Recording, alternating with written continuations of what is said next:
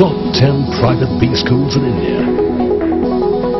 Our focus is on cutting edge domain knowledge and benchmarking with world-class businesses. Big Tech. Excellence with values.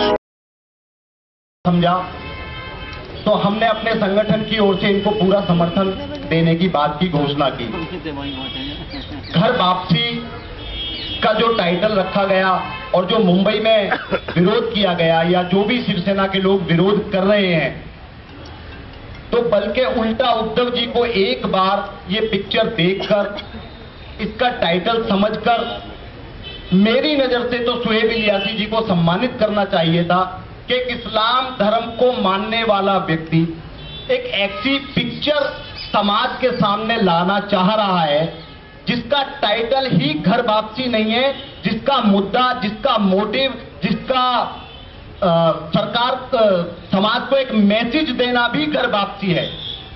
Hindustan धर्मनिरपेक्ष राज्य रहा है।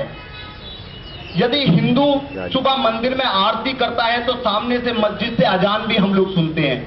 गिरजा घर में यदि घंटा बजता है तो गुरुद्वारे की गुरबाणी भी हम लोग साथ ही सुनते हैं। तो ऐसे में यदि कोई धर्म अपने धर्म में वापसी करना चाहता हो, जो किसी कारण से भटक गया हो, और वो घर वापसी करे तो उसे चाहे आरएसएस समर्थन करे, चाहे कोई और संगठन समर्थन करे, उसमें लड़ाई कहाँ है? वो उसकी स्वयं की विवेक और बुद्धि की बात है। यदि मान भी लिया जाए कि ऐसा कुछ सुहेब इलियासी जी की पिक्चर में है कौन फैसला करेगा कि वो गलत है या सही? ये फैसला आप सब लोग, मीडिया के लोग, तमाम जनता जनार्दन के लोग तभी कर पाएँगे कि जब हम लोग उस पिक्चर को देखें और फिर आकलन करें कि क्या उस पिक्चर में गलत है और क्या सही। अभी एक हमारे पत्रकार बंधु चार पाँच बार ये आरोप लगा चुके हैं कि जी सुहेब इलियासी जी के उनके साथ संबंध हैं। तो उसमें कौन सी गलत बात है? अगर मैंने जिस समय पिच खोदी, मैं मुंबई गया तो बाला साहब ने बाजू में खड़े करके हमारा फ़ोटो खिंचवाया।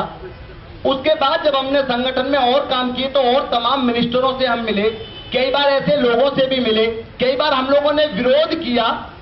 अभी पिछले दौरान आप लोगों ने देखा होगा कि शिवसेना हिंदुस्तान एक संगठन है।